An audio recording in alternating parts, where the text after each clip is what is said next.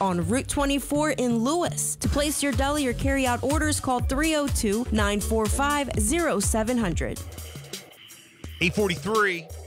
We have the Philly captain live on the hotline right now. Check him out on YouTube. So you were talking about, you know, the key is like consistency to keep up with your channel, right? So, Yeah, consistency. That's that's what keeps the YouTube algorithm uh, pleased.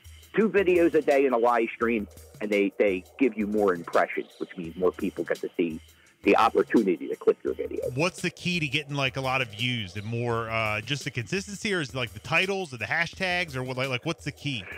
People, it's it's I, uh, most importantly, it's topic. I find so. Okay. Like when I go go to Kensington, that's an automatic ten thousand views. Wow. Um, I, but I, I'm, I'm I, there's there's like people who just make videos in Kensington, and it, it's just so it's such a bad spot. I can't do that.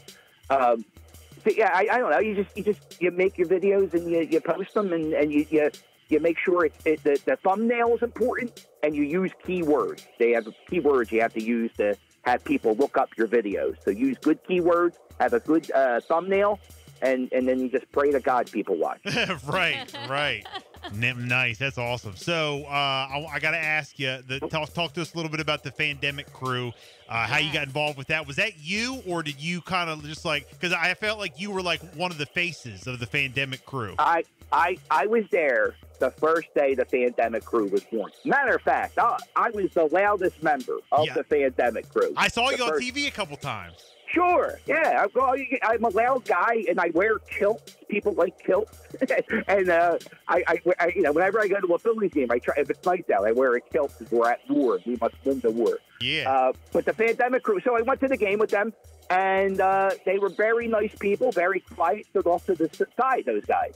Um, and then they came back the next day. I, I got, I had, I had a few things to do, like anything else besides another baseball game when, when you couldn't even see it. But Right. those those guys um, are, you know, they- they're they deserve everything they get because they worked really, really hard on it. I, I guess I'm, I'm an honorary member of the Fandemic Crew. I was there one night when the owner the yeah. Well, look for out. people for people who don't know what that is. Uh, you know, we, we're big Phillies fans. You know, so uh, when you couldn't go to a baseball game, you know, they're starting to let fans in now. But before, when nobody could go, uh, fans gathered outside of Citizens Bank Park and cheered on the Phillies. No matter what, you guys were always there every home game, and right away at the games. gate. And away games. They were there for away games because the broadcasters announced at the stadium. That's all. You're right. You're right. Wow. insane. Those guys are insane.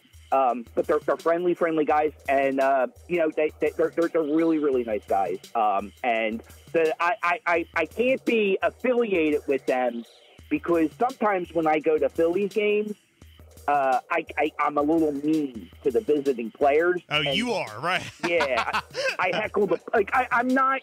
They like to keep everything G rated. Yeah, but you're Right. yeah, hey, but you're from Kensington. You got an excuse. You're Kenzo. Yo, I, we, I, I can't stand five feet away from another player from another team and not yell at them. I have to yell. Yeah. So every game when I go to a game, and, and I, I, I vlog every game I go to. I got I got like uh, eight more games I'm going to in the next month. Uh, every time I go to the game, I go down to the bullpen and I heckle the players and I leave. I love it. Uh, I love yeah. it. Man, that's awesome. How, how do you think the Phillies are going to uh, end up, you know, turning out this year? I know they made a couple uh, couple changes. You know, they brought Odubel back up. Yeah, yeah. Um, you know, uh, you know, Rhys is hot right now. Bryce Harper's hot right now. How do you think, uh, you know, everything's going to pan out?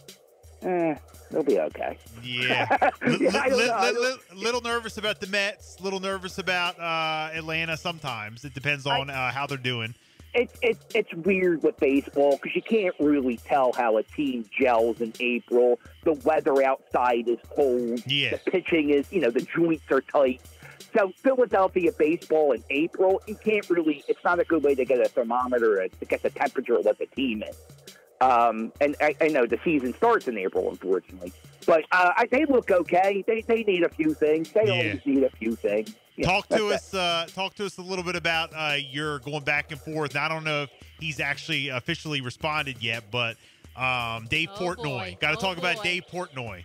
Dave Portnoy came to Philadelphia last year. This this this guy, he's a sleaze bucket. Uh, He's the worst. He's the worst type of human being. Barstool Sports Barstool He- he's the worst type of human being in the world. He's the type of human being that values money over human life. And Okay. I, I hate people like that.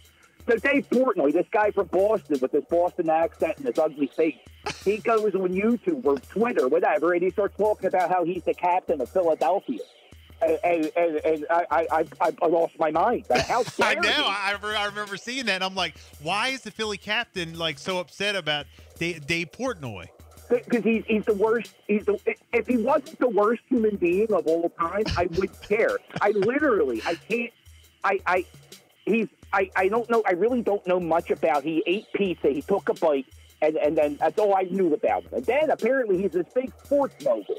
Well, look, I ain't got time to watch everybody on the internet with an opinion about sports, uh, especially when it's it's, it's, a, it's a guy like Dave Portnoy. So I just I don't know who he's just annoying. He's an annoying guy, I, and I just don't like him. And, and I think people think he's cool. He's he's the worst guy of all time. Nothing cool about Dave Portnoy.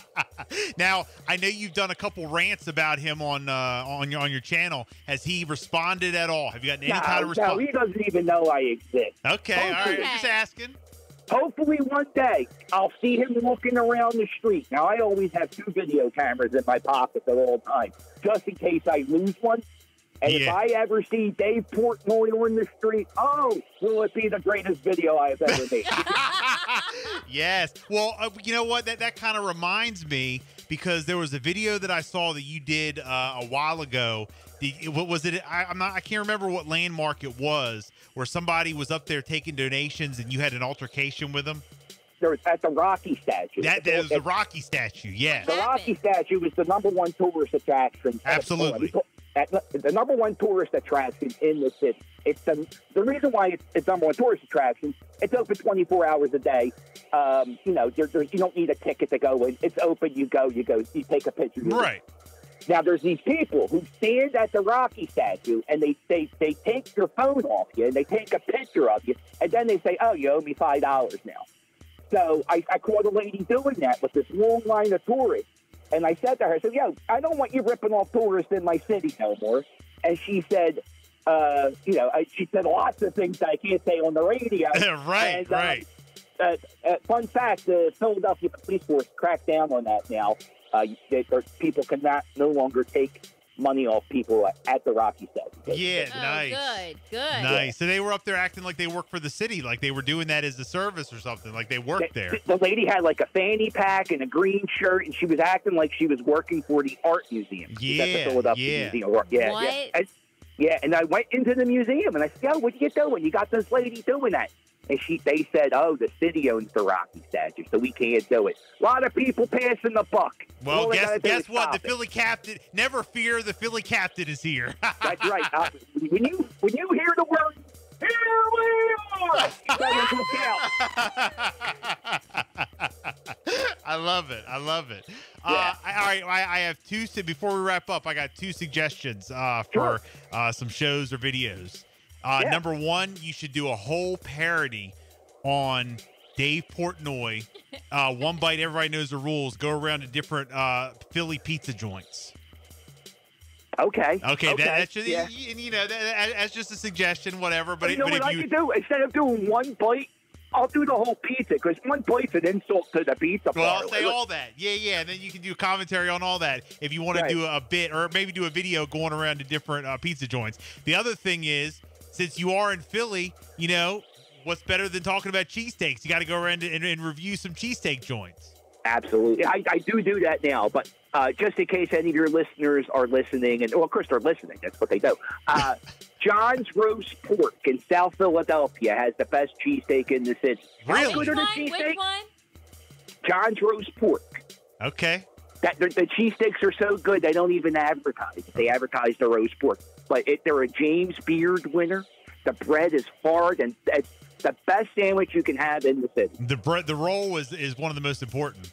It's, it's the bread makes the scene. You ever go anywhere else and you see a place make a Philly cheesesteak? Like if you go down to Washington D.C. and they make a Philly cheesesteak and you got it, the bread's horrible. I yeah, yeah. out. It's got, it's got the bread's it. That's it. Yeah, I get the sandwich. I usually throw it at the person who sells it. How dare you call this a Philly cheesesteak? I'm a Tony Luke's guy. Okay, uh, Tony Luke's is all right. You know what the thing about Tony? He makes his own bread.